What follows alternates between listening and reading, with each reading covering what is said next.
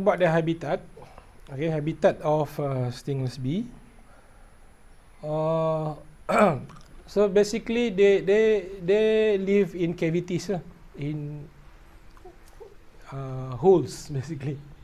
Okay, so this this is some of the uh, common or the spot where the stingless bee were found.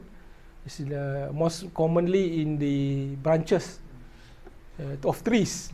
So it happened like like 100 feet or 30 feet, very high. So um, ranchers or who people who who, who collect them from the uh, while uh, they have trained trained eyes lah, they have to spot the stingless bee. Um, maybe maybe if you are lucky, you can spot it yourself. Mm. I have spot that in some places in the UTM. Okay, of course, uh, uh, we do not okay uh, cut all the tree that we've spot. okay, you cannot do that. They do do they they, they do live in dead logs. Okay, they all do found in abandoned termite hills. Okay, even in buildings and other in like unusual places lah. Okay, like this place yeah, they, they inside the poles. Okay poles. Uh, like uh, shelter poles. So okay parking garage. Okay ini bamboo. Okay they also found. Uh, but they don't have the capability to make the holes. And then they just come. Okay how they pick? Only God know how they pick. But uh, the I also uh, practice lah like uh, making uh, empty box. We call bed box. Uh, we put some propolis inside.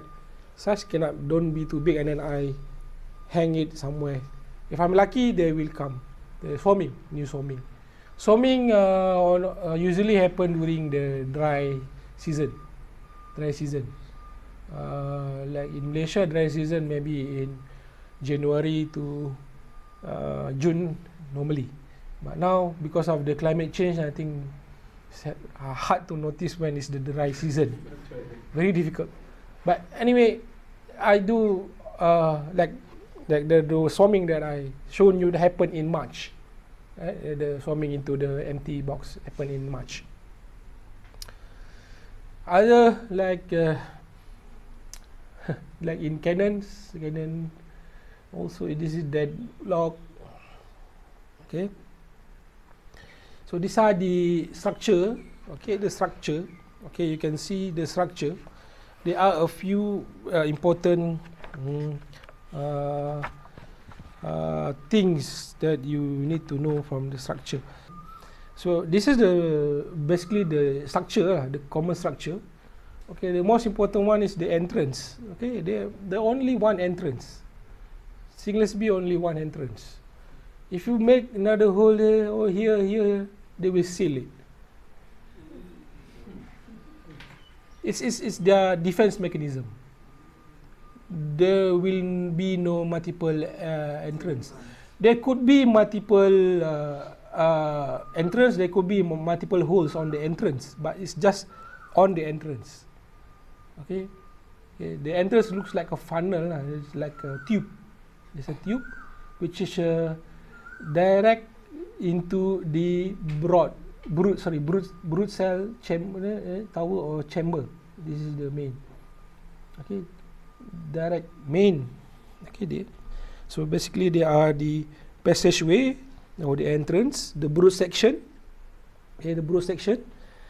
The storage section. Storage section okay top and bottom the where they uh, put the food, food, uh, the honey, the nectar, eh, sorry, the honey and the uh, bee bread or the pollen. Okay.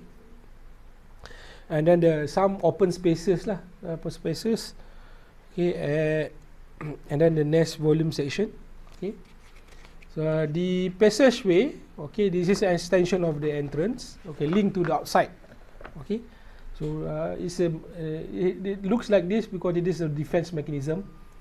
Okay, all the soldier okay will uh, uh, be here. Okay. When uh, the in, the intrusion, any intruder come, so all the soldier will try to defend. Okay, we come out. Okay.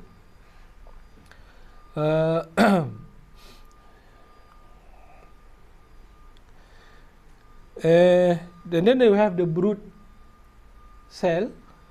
So they they they are the cerumen. Cerumen is the propolis lah basically.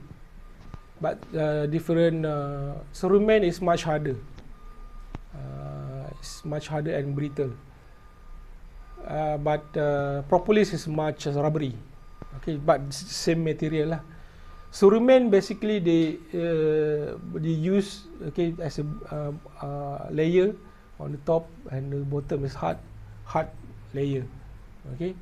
As a like a seal on the top and and and and, and the bottom okay?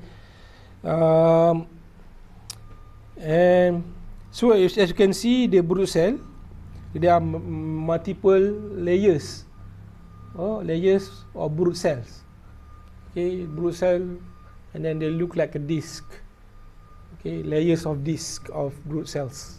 Okay, and each section or each layer have a, dif a different age. Uh, okay, so like for example, this one will hatch. Okay, the okay means that the next one will hatch is the maybe this one uh, or the next or next this one. Uh, okay. So they, it has a different uh, age, uh, the, the, the brood layers. So the queen will okay continuously lay the eggs on the empty spaces of the brood section. Okay. So the brood cell are horizontal lah, horizontal uh, for most of the stingless bee, horizontal. Okay. Uh, but some species, some species is uh, the brucell is vertical but no but the, the stingless bee is horizontal. And the orientation is very important. I mean orientation. Like if this is the entrance okay means that uh, the pupa or larva inside the brucell the head is on the top So in in the cell uh, already contain some of the uh, royal jelly food for the larva. Okay, if like for for example, if they, they fall down, it may drown the pupa. Okay, that's why that is very important during transferring. You need to know the orientation. But normally, stingless bee will uh, correct. They will correct, but depend on the number of the uh, workers. You have to have you have to understand before you move. You have to mark which side is up, which side is down. If you put it wrongly, maybe half of it will drown. The the the uh, the new cell will drown. Okay.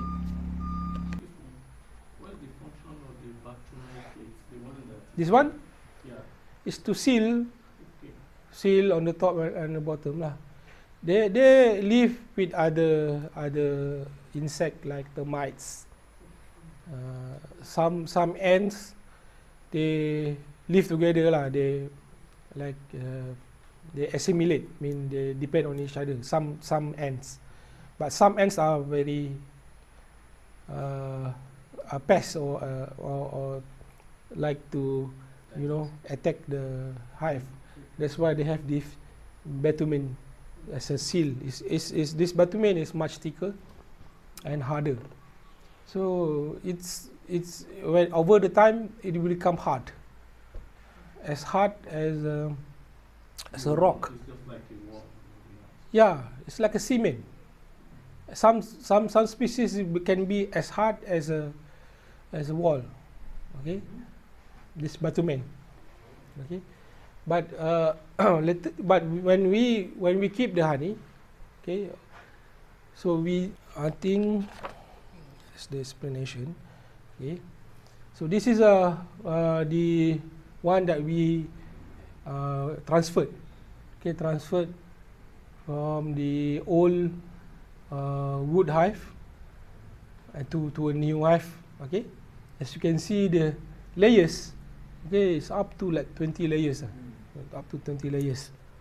Uh, this is what it looks like from the top. It's like a disc. Okay, there are basically layers.